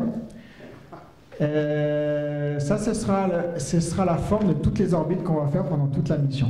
Donc là, si Jupiter est au centre ici, on regarde depuis le pôle nord. La première orbite va être celle-là. Les premières orbites sont toujours très, très allongées. Et puis on se rapproche petit à petit. Mais vous voyez qu'on se rapproche jamais trop quand même, pour les raisons que j'ai dit tout à l'heure, c'est-à-dire qu'on ne veut pas être trop près de Jupiter à cause des ceintures de radiation. C'est bien d'être prêt, mais si on est trop près, bah, le satellite il va, il va griller. Donc pour rester deux ans en orbite, eh ben, on va faire toutes ces orbites qui sont, à distance raisonnable de Jupiter. Donc et à chaque, chaque orbite, ou toutes les deux orbites, il y aura un survol euh, soit de Ganymède, soit d'Europe, soit de Callisto. Donc pendant les deux ans et demi qu'on va passer autour de Jupiter, on va faire des, disons tous les mois, on va faire un survol d'une des lunes. Et à chaque fois qu'on fait un survol, eh ben, on allume tous les instruments, les radars, les caméras, et on fait la science. Ça, c'est si vu, c'est le même type d'orbite, mais cette fois vu depuis l'équateur. Donc Jupiter est ici. La plupart des orbites sont dans le plan de l'équateur, parce qu'en fait on est intéressé par les lunes de Jupiter, et les lunes de Jupiter orbitent dans ce plan. Donc si on veut les rencontrer de temps en temps, bah, il faut être dans le même plan que, les, lunes de Jupiter. Mais de temps en temps, on va s'échapper du plan, comme ici ou là, pour être un petit peu plus haut ou un petit peu plus bas, pour voir les, les pôles de Jupiter, parce qu'on veut aussi étudier la planète. Et pour étudier les aurores boréales sur Jupiter, il faut être un petit peu au-dessus ou un petit peu en dessous, c'est beaucoup mieux pour voir les pôles. Donc de temps en temps, on se met en dessous, on se met au-dessus, et après on va revenir dans le plan pour finalement se mettre en orbite autour de la Lune Ganymède à la fin de la mission. Donc maintenant, on se, on se met en orbite autour de Ganymède. Alors au niveau des manœuvres, c'est assez compliqué aussi. On n'a jamais fait ça, on s'est jamais mis en orbite autour d'une lune euh, autre que, notre propre lune. Donc là, c'est Ganymède. La première orbite sont toujours euh, elliptiques, c'est toujours comme ça. Ensuite, on aura des orbites qui sont plus circulaires, ici à 5000 km. Donc là, on fera euh, de la cartographie à basse résolution, on va allumer tous les instruments. On aura ensuite d'autres orbites qui sont plus euh, allongées, ça c'est dû aux interactions euh, gravitationnelles entre Jupiter et Ganymède. Et à la fin, on aura une orbite très proche à 500 km circulaire. Donc c'est vraiment la fin de la mission, donc on commence euh, assez loin, on se rapproche, et ensuite on se rapproche de plus en plus pour être à 500 km. Et là, à 500 km, on aura tous les instruments allumés le plus possible, et on va vraiment étudier en détail les océans, euh, la, couche glacée, etc. Qu'est-ce qui se passe à ce moment-là? Donc euh, tout, le, tout le fuel qu'on a amené dans le satellite, et j'ai oublié de le dire, mais la moitié du satellite c'est du fuel, c'est-à-dire qu'on a un satellite qui fait 5 tonnes, mais la moitié c'est de l'essence, pour faire toutes les manœuvres euh, dont j'ai parlé. Mais au bout d'un moment, il n'y aura plus d'essence dans le, dans le satellite, et il n'y a pas de station essence là-bas. Donc qu'est-ce qui se passe quand on n'a plus d'essence? On ne peut plus contrôler la trajectoire. Et donc la fin de la mission, en fait, ce sera un impact sur la Lune. Parce qu'au bout d'un moment, il y aura des orbites qui seront un peu chaotiques. On ne contrôle plus le satellite et on impacte sur la Lune. Ce sera la fin de la mission. Donc on sait que la fin de la mission, ce sera un impact, un crash sur la Lune de Ganymède. Donc ça c'est une image juste pour montrer bah, les dernières orbites et puis ce sera un crash. je ne sais pas si on pourra le voir depuis la Terre, mais euh, en tout cas, ce sera quelque chose, si on, si on tient les délais et le calendrier, ce sera quelque chose en 2034. Mais pourquoi il n'y a pas de ralentissement atmosphérique quand même autour de Ganymède Non, mais il y a l'attraction gravitationnelle avec Jupiter qui n'est pas trop loin, ah et Ganymède, et ça perturbe les orbites. En fait, on pourrait trouver des, des orbites qui sont un petit peu stables, c'est-à-dire durer un petit peu plus longtemps que prévu, mais pour l'instant, ce n'est pas le type d'orbite qu'on a. Mais donc, euh, quand on sera là-bas, on pourra, si on a assez de fuel encore, euh, on pourra toujours décider de se mettre sur une orbite qui est un, peu stable. Et éventuellement, on pourra durer un, quelques mois de plus. Mais ça, on verra quand, quand on sera là-bas. Il y a beaucoup, il y a beaucoup d'incertitudes. Voilà, donc euh, ça c'était pour le profil de mission. Donc on a vu la science, on a vu le satellite, on a vu la trajectoire. Donc maintenant, je voulais, comme, euh, la principale innovation de cette mission, c'est de, mesurer les océans liquides qui à l'intérieur des l'île, je vais parler plus, puis il y avait une question de Jean-Pierre, je vais plus parler de mais comment on fait vous imaginez un satellite autour de l'île, comment on fait pour, euh, pour étudier l'eau liquide qui est à l'intérieur de la Lune? Donc si on avait une mission, euh, si on était prêt et si on avait un budget illimité, ce serait le genre de mission qu'on ferait. Donc vous avez ici la, Lune, la couche de glace qui fait euh, plusieurs dizaines de kilomètres d'épaisseur. Donc on envoie une, euh, sonde qui, euh, qui, chauffe la glace et en fondant on pénètre. Hop, on arrive à l'interface entre la glace et l'océan et on libère un petit sous-marin. Voilà, ça c'est la, la, mission, je dirais, idéale et qu'on fera peut-être dans 50 ou 100 ans. Je ne sais pas. Mais faisons les choses étape par étape. Notez qu'il euh, y a une compagnie à Nantes qui m'a contacté il y a quelques mois, qui travaille sur les sous-marins et qui voulait en savoir plus sur les océans des lunes de Jupiter. Donc il y a déjà des gens qui réfléchissent à, ce genre de sous-marins. Mais bon, euh, pour moi c'est encore un petit peu loin dans, le futur, mais bon, ça ce sera peut-être une mission euh, dans, quelques dizaines ou dans 100 ans, on verra bien. Donc nous, on, a un satellite qui est autour, qui se met en orbite ou qui fait des survols des lunes. Et les distances euh, les, plus proches, c'est quelque chose comme 200 km ou 400 km. Donc on va jamais être, euh, on va, on va pas faire du vol plané, du rasmot. On va être quand même à, une certaine distance de la Lune. Donc en étant loin de la Lune, comment on fait pour savoir ce qui se passe 200 km à l'intérieur de la Lune? Ça, c'est une question toujours qui, euh, qui me fascine. il y a plusieurs méthodes pour, pour mesurer les, pour détecter l'eau liquide. La première méthode, c'est grâce au champ magnétique. Donc là, c'est une image que j'ai montrée tout à l'heure. Donc vous imaginez, il y a aussi un cœur de fer à l'intérieur de Ganymède. Donc il y a un champ magnétique. On est dans le champ magnétique de Jupiter et a de l'eau liquide. La particularité de cette eau liquide, c'est qu'elle n'est pas pure. Elle est salée. Si elle était pure, on ne pourrait pas utiliser les champs magnétiques pour, pour, mesurer cette eau. Mais comme il y a quelque chose, il y a, des impuretés, il y a, du, il y a du sel. Donc cette eau liquide, elle conduit l'électricité et elle va changer un petit peu les propriétés magnétiques euh, de la Lune du fait que c'est un conducteur d'électricité. Donc si c'était de l'eau pure, on pourrait pas, on pourrait rien mesurer, mais si, comme c'est de l'eau salée, grâce aux perturbations du champ magnétique, avec un magnétomètre très sensible, on peut détecter la présence d'eau liquide, même si on est à 200 euh, km ou 400 km d'altitude. En fait, c'est comme ça avec la sonde de la NASA Galileo qui ont pu euh, donner les premières indications qu'il y a de l'eau liquide à l'intérieur des lunes. Donc c'est une méthode très puissante, indirecte, mais euh, qui marche. Et donc on a à bord de notre satellite, on va aussi avoir un magnétomètre qui cette fois est vraiment très sensible pour continuer à faire ces mesures. Et grâce à ces mesures, si, euh, on est en orbite autour de Ganymède, si on fait des mesures de champ magnétique pendant euh, plusieurs mois, plusieurs jours, on peut aussi en déduire un peu la composition de cet océan grâce aux mesures. Et aussi, on peut en déduire l'épaisseur de cet océan. Donc, est-ce qu'il fait 50 km Est-ce qu'il fait 100 km Grâce aux mesures du champ magnétique. Donc, en fait, mon idée, j'en ai discuté avec euh, des collègues euh, pas plus tard que ce matin. On a un meeting sur le projet.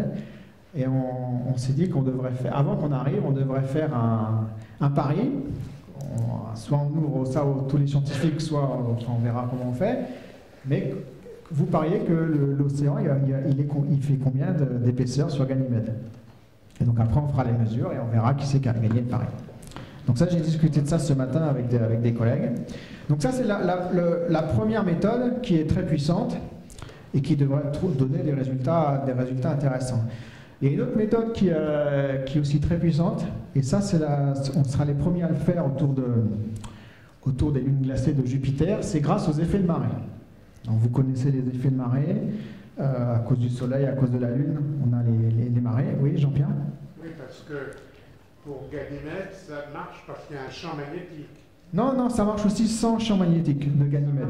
En fait, sur euh, Ganymède, c'est compliqué parce qu'il y a aussi le champ magnétique de Ganymède. Mais ça marche sur Europe et sur Callisto. si sur Europe et sur Callisto, il y a un... Voilà, en fait, c'est le champ de Jupiter qui, euh, qui est le moteur de, de ces changements. C'est assez compliqué. Donc les marées, euh, on, connaît les marées terrestres, ceux qui habitent près de la mer, effectivement, évidemment. Et il y a des marées aussi, eh ben, il y a des marées à chaque fois qu'il y, euh, a des planètes, des corps et des lunes. Donc ici on a Jupiter et les quatre lunes de Galiléo, donc euh, de, de Galilée, Io, Europe, Ganymède, Callisto. Donc chaque corps en fait attire chaque corps. Donc Jupiter attire tous les autres, mais Callisto, il est aussi attiré par Europe, Ganymède, Io, etc., etc. Basé sur ça, euh, bah, il y a des marées sur chacun des satellites. Mais il n'y a pas d'eau en surface. Donc quand je parle de marée, je parle de marée de, la croûte. Euh, c'est aussi des marées, mais euh, c'est la surface qui bouge. Donc sur Ganymède, si on prend l'exemple de Ganymède, parce que c'est Ganymède, c'est ce qu'on va étudier le plus pendant, pendant la mission. Donc Ganymède, et on va avoir des marées dues à Jupiter et dues aux autres corps. Et il y a des marées. Donc est-ce que vous avez une idée du déplacement de la surface de Ganymède dû aux interactions gravitationnelles qu'il y a, a ici? Est-ce que ça, ça va bouger de combien?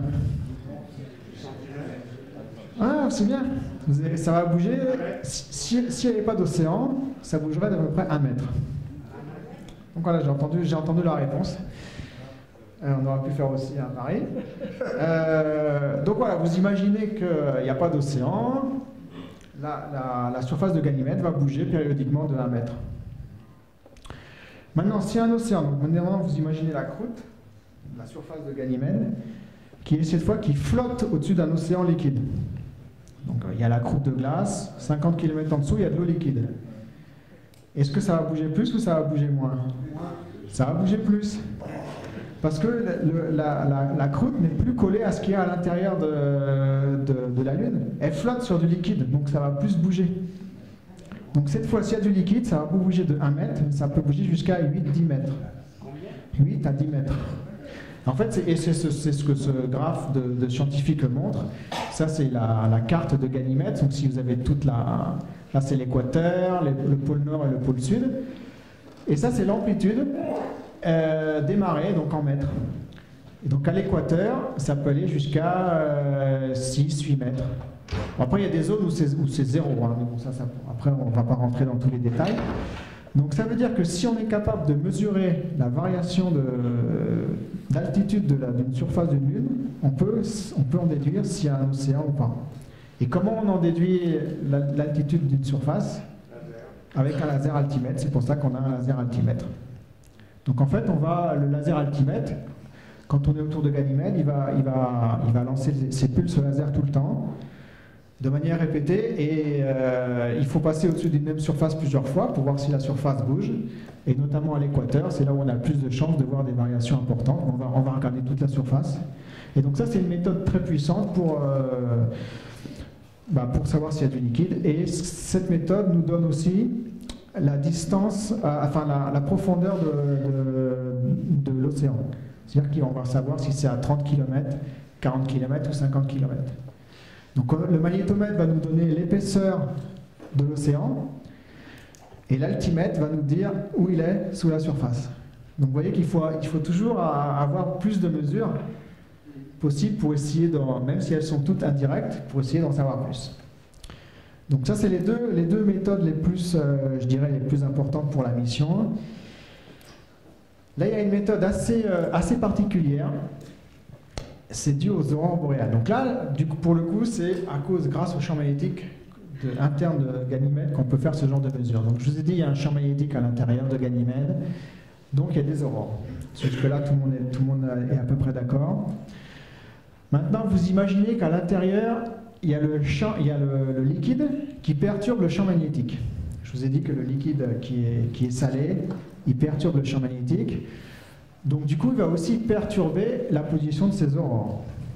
Si vous me suivez toujours. Et donc si on mesure la, la position de ces aurores en fonction du temps, ça peut nous donner une indication sur le champ magnétique dû à l'océan. Et donc ça nous donne une indication sur l'océan aussi. C'est assez. Là, on arrive un peu. Au niveau physique, c'est assez compliqué. Mais en fait, c'est sur ce schéma ici en fait, si on regarde la position des aurores, qui sont ici, les, aurores en fait oscillent. L'anneau auroral, il va osciller avec le temps. Et cette oscillation va dépendre s'il y a un océan ou pas. S'il n'y a, a- a pas d'océan, les aurores vont bouger de 6 degrés. Vous imaginez un petit angle de 6 degrés. Et s'il y a un océan, la variation sera très faible, plutôt de 2 degrés. Ça, c'est des résultats de, de modèles. Je ne vais pas rentrer dans les détails, ça peut être revu après par les scientifiques.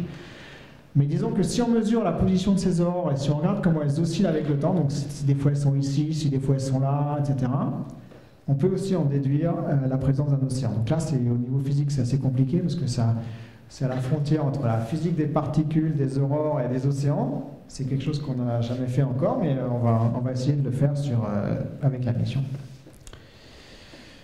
Euh, J'ai parlé des geysers sur, sur Europe. Donc en fait, parce qu'ils ont été vus, ils ont été vus aussi sur, des, sur la lune de Saturne qui s'appelle Encelade. Vous avez dû voir ce genre de résultat. En fait, c'est de l'eau qui, qui vient de l'intérieur des lunes et qui est expulsée parce qu'il y a des failles dans les lunes. Et l'eau est en contact avec la surface et après est expulsée dans l'espace et ça forme ce, genre de geyser. Donc sur Europe, on pense qu'il y en a. Sur Ganymède, on n'en a jamais vu, mais c'est pas exclu. Donc si avec un satellite, on passe à l'intérieur de ces geysers, bon ici, on dirait que c'est un geyser qui fait quelques mètres de haut, mais en fait, on pense que ça peut aller jusqu'à plusieurs centaines de kilomètres de haut. Ah, donc vous imaginez un geyser. Et sur le satellite qui fait un survol, si on passe dedans, et si on peut mesurer ou, euh, observer des particules de ces geysers, eh ben, on peut en déduire ce qu'il y a sous la surface. Parce que le geyser, il vient de sous la surface. Donc voilà, donc ça c'est euh, c'est quelque chose, il faut qu'il y ait un geyser bien sûr, et il faut que le satellite il passe dans le geyser. Donc ça fait plusieurs euh, si, mais euh, on verra ce qu'on fait avec, avec la mission. Alors, j'arrive bientôt à la fin, donc euh, euh, je- voulais vous parler de quelque chose qui est assez euh, compliqué pour le projet actuellement. C'est donc on part en 2022, mais est-ce qu'on part avec une Ariane 5 ou une Ariane 6 Donc pour ceux qui s'intéressent aux lanceurs, en fait c'est un problème pour nous parce que 2022 c'est à peu près la période où, où on passe de Ariane 5 à Ariane 6. C'est l'agence spatiale européenne avec les, les, les, euh, les compagnies qui fabriquent les lanceurs qui ont décidé de ce calendrier. Bon, déjà ils, ils ont décidé de passer de Ariane 5 à Ariane 6. Mais nous, on avait fini notre mission pour Ariane 5 et on n'a pas du tout envie de partir sur Ariane 6. Parce que si vous vous rappelez du premier lancement d'Ariane 5, si euh, vous vous souvenez ce qui s'est passé, ça a explosé. Parce que les premiers lancements, ils ne sont pas toujours fiables. On peut avoir des problèmes avec les premiers lancements. Et le premier lancement d'Ariane 5 a été une catastrophe pour, euh, pour une mission scientifique. Donc on n'a pas du tout envie de faire les premiers lancements d'Ariane 6.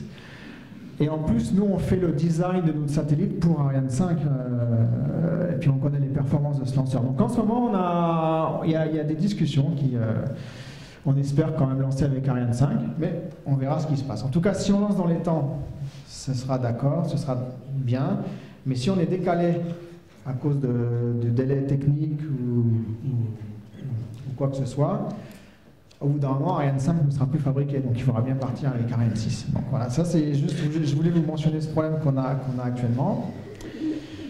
Et pour, et pour résumer en fait euh, tous les challenges de la mission, parce que c'est une mission assez compliquée, j'espère que vous l'avez quand même euh, compris. On a, je, voulais, je voulais faire un résumé de, tous les problèmes que- auxquels on doit faire face. C'est intéressant de toute façon d'avoir des, problèmes. Au niveau technique, en fait, la durée du projet, euh, vous avez vu, c'est des projets qui durent, euh, enfin, le satellite doit aller 10-15 ans dans l'espace, donc il faut euh, construire un satellite qui tienne.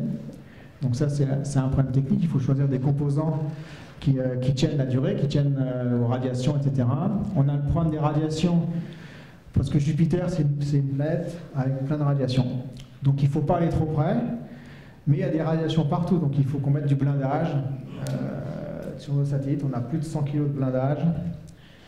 Tous les instruments, il faut qu'ils soient blindés. Euh, donc ça rajoute de la masse, donc c'est aussi compliqué. Au niveau thermique, j'en ai parlé un tout petit peu. On va avoir soit du froid pendant la mission Jupiter, mais un petit peu de chaud quand on passe vers Vénus. Donc on a, on a un petit peu de tout, donc il faut, il faut fabriquer un satellite qui peut à chaque fois euh, bah, tenir compte de ces, deux, problèmes. La puissance à bord, on a des panneaux solaires qui font presque 100 mètres carrés, mais on est quand même loin du soleil. Et donc on a, une puissance limitée. On a quelque chose comme un, même pas, on a, on a quelque chose comme 900 watts. Donc si par exemple on brancherait notre sèche-cheveux sur le satellite, le satellite il y a un court-circuit, ça marche plus. Donc 900 watts, on, fait, on doit faire marcher tout le satellite, tous les instruments. Donc c'est aussi un problème qu'il faut tenir compte. Donc il faut vraiment, quand on fabrique des instruments, il faut qu'ils soient le plus, euh, enfin qu'ils consomment le moins possible. Et on a aussi quelque chose, là je ne vais pas rentrer dans les détails, mais il faut aussi que le satellite soit propre au niveau électromagnétique, euh, parce qu'on veut mesurer le champ magnétique des lunes, mais on ne veut pas mesurer le champ magnétique du satellite. Celui-là, on s'en fiche complètement. Mais euh, c'est quand même un problème, parce que chaque satellite produit son propre champ magnétique, parce a- vous avez vu une, photo où je vous ai montré tous les câbles. Chaque câble produit un, petit champ magnétique. Donc si on, si on prend un magnétomètre, on n'a pas envie de mesurer les champs magnétiques du câble A, B, C. Ça ne nous intéresse pas trop. Donc c'est pour ça qu'il faut avoir un satellite assez propre au niveau électromagnétique. Et ça, c'est assez compliqué à, construire. Au niveau opérationnel, on a la navigation. Je pense que je vous l'ai montré avec tous les survols. Euh, des lunes, on a, du fuel, on a, des, on a de l'essence pour faire des manœuvres, on a plein de manœuvres pendant toute la mission. Donc au niveau de navigation, c'est assez compliqué. Au niveau protection planétaire, j'en ai pas parlé, mais euh, c'est un problème qu'on a dans toutes les missions planétaires. Il y a un bureau qui s'appelle protection planétaire qui nous interdit de faire beaucoup de choses. Par exemple, on n'a pas le droit d'atterrir sur Mars en collision avec la planète Mars pour protéger une éventuelle trace de vie qu'on pourrait trouver plus tard. On ne veut pas contaminer les, autres planètes. Donc, euh, comme il y aura toujours des, bactéries sur le satellite, il ne faut pas rentrer en contact avec une autre planète. Pour le satellite Europe, qui est le plus intéressant au niveau astrobiologie, il faut pas, il faut absolument pas rencontrer Europe. Il ne faut pas euh, se cracher dessus.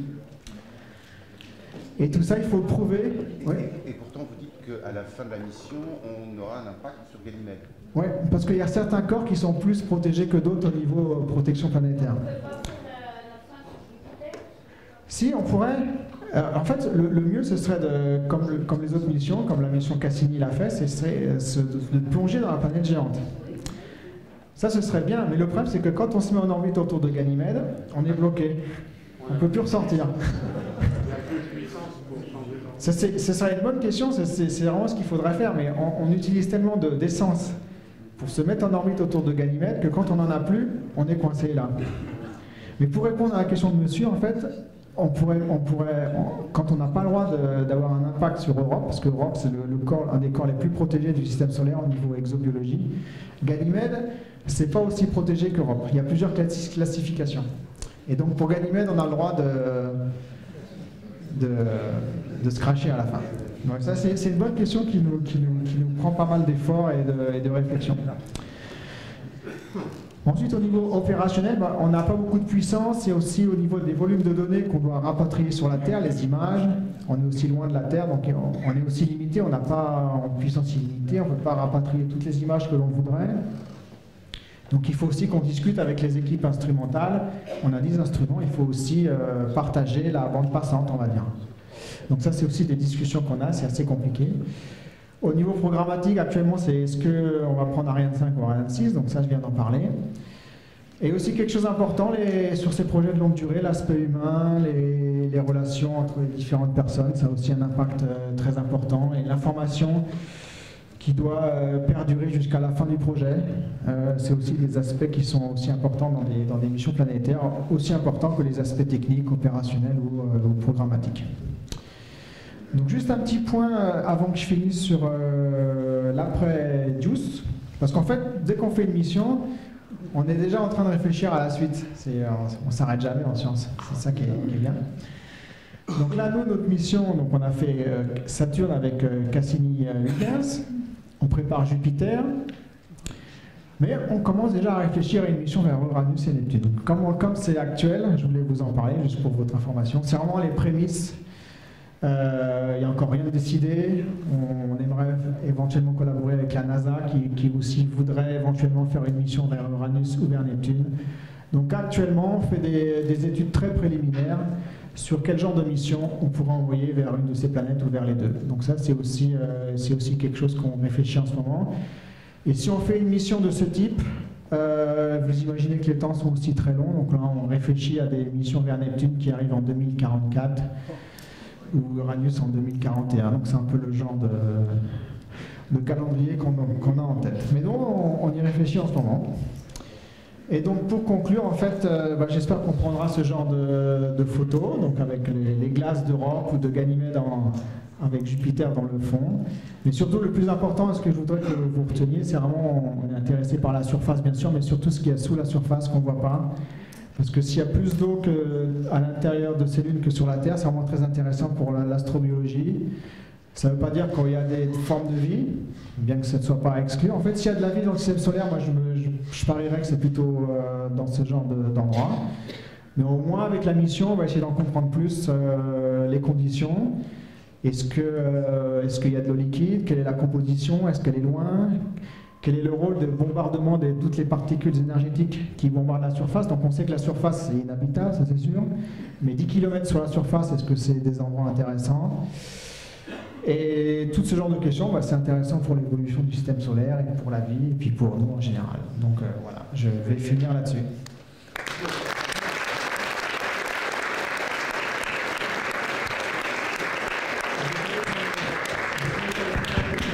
Oui, euh, je voulais justement juste vous poser une question sur Uranus-Neptune, mais là il faudrait, faudrait du nucléaire, parce que les, panneaux solaires, ils marchent plus Euh, oui, donc comme ce sera avec la NASA, en fait, euh, la NASA fournirait les, euh, la puissance nucléaire. Voilà. Euh, En Europe, on n'est pas encore prêt à lancer une mission à base de nucléaire pour la, pour la puissance. Bah, je crois que aussi on n'a pas le droit, non, non Il me semble des choses comme ça. Euh, Est-ce que vous avez des questions? Moi, Encore une avant que je, passe la parole. Vous avez dit que les marées sur Ganymède, c'est 8 à 10 mètres. C'est pas négligeable. Est-ce que ça casse la croûte? Bah, ça pourrait. ça- Excusez-moi, il n'y a pas de jeu de mots là. non.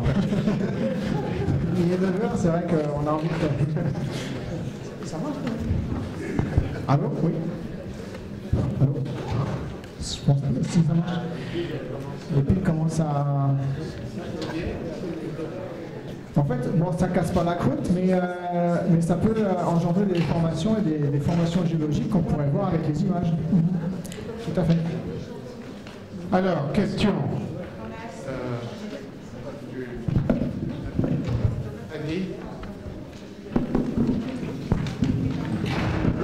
Question, c'est, euh, est-ce que vous avez, vous ne pourrez rien voir à cette distance dans, dans l'espace et dans le temps? Donc programmes et vous recevez après les images.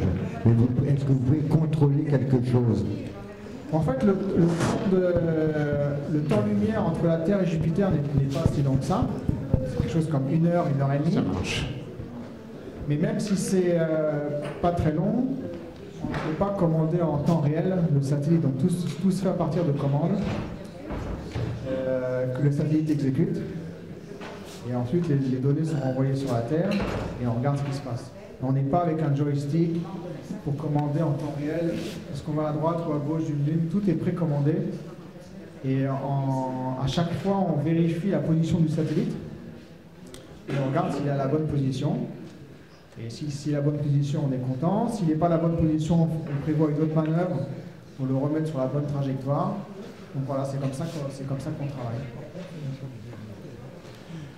Autre question Euh, tu, tu as dit qu'il y a, il y a des geysers sur Europe. hein, c'est- et- Est-ce que ces geysers, ça sort par les, les rayures que l'on voit sur Europe Un peu comme pour Encelade Ou est-ce qu'on est ne sait pas?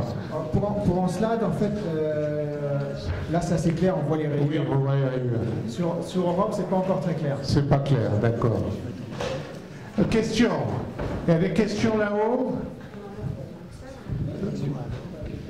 Parlez fort. Euh, oui, merci beaucoup pour la présentation, c'était vraiment très intéressant. Moi j'avais une question au niveau des matériaux utilisés. Est-ce qu'il y a une innovation particulière due aux conditions extrêmes, euh, tant électromagnétiques qu'au niveau des températures, qui vont être utilisées sur la construction de ce satellite?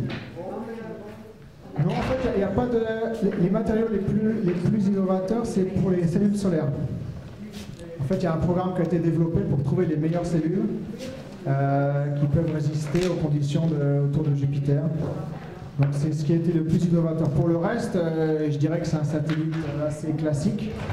Euh, par contre, il faut beaucoup de plomb ou d'aluminium pour blinder contre les radiations. C'est ça le plus, le plus compliqué. Bah, les cellules solaires, ça semble être quelque chose de vraiment super dans les sondes parce que là, elles doivent résister au froid. Et rappelez-vous la mission Parker euh, Solar, Probe qui s'approche du Soleil, qui doit résister à, des températures extraordinaires. hein. Donc c'est quand même un élément super, hein, les, les cellules solaires, et, et indispensable. Question, j'ai vu des bras qui se levaient. Guy, attends. Comment c'est qu'on fait science, on sait Alors une question technique. Jean-Pierre Martin a fait un article sur le JWST et si j'ai bien compris, nos amis de la NASA testent le JWST donc euh, pendant quelques années dans une cuve qui date de, l'époque d'Apollo. Alors question, euh, est-ce qu'à l'Estec on utilise des vieilleries ou est-ce qu'on a des cuves récentes? Euh, vous m'entendez là? Bon, c'est plutôt un commentaire. Oui, Bon, en fait, euh, bon, à, la NASA, il y a des vieilleries, mais c'est parce qu'ils sont là depuis longtemps. Et à l'Estec, on a, moins de vieilleries parce qu'on est plus jeune qu'eux. Donc, euh, nos vieilleries, elles ont, elles ont une vingtaine d'années. Et voilà. On n'a pas besoin de vieillerie pour, euh, pour tester nos, satellites. J'ai entendu une question de, de ma famille d'ailleurs sur les euh, pourquoi on sait que euh, c'est salé. Bah, c'est avec les, les, données du magnétomètre. Parce que si, si l'océan n'était pas salé, il ne conduirait pas l'électricité. Et donc il ne ferait pas de perturbation électromagnétique dans, dans la mesure du champ magnétique. Et voilà, c'est comme ça qu'on sait. Comme on a vu des perturbations qui sont dues à, un conducteur d'électricité, on a dit que c'est un liquide, il faut, que, faut que ça bouge, donc c'est un liquide. Le liquide le plus, évident, c'est de l'eau. Et après, euh, il faut qu'il conduise l'électricité, donc le plus évident, c'est du sel.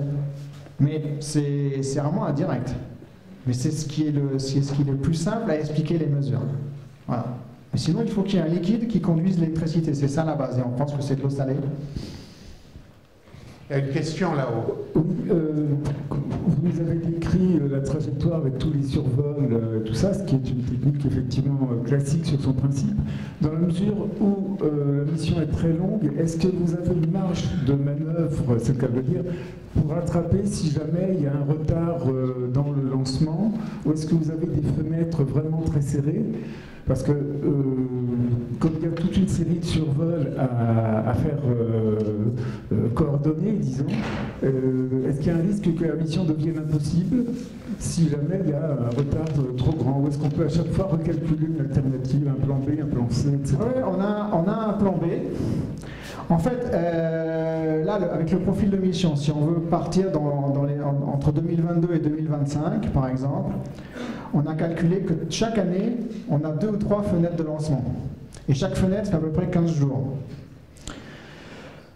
Mais euh, on n'a pas pu que. Et chaque, fenêtre est un peu différente. Euh, même si les fenêtres de lancement, euh, des fois, on n'a pas assez de masse pour lancer. Enfin, chaque fenêtre n'est pas, pas la même. Donc là, la fenêtre de mai 2022, c'est vraiment la meilleure si on considère les trois années à suivre. Mais après, on a un plan B qui est en août 2023. Et là, on a vu qu'on peut lancer aussi la sonde. Le problème, c'est qu'au lieu de faire 7 euh, ans et demi de trajet entre la Terre et Jupiter, si on lance en août 2023, euh, ça va durer deux ans de plus la croisière.